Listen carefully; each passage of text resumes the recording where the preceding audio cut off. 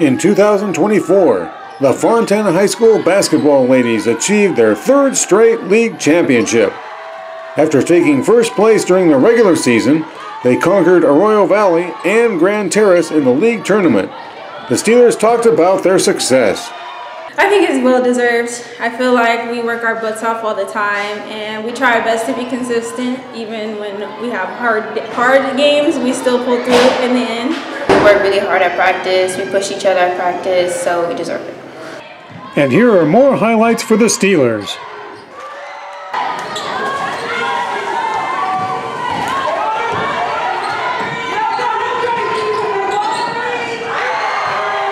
Yes!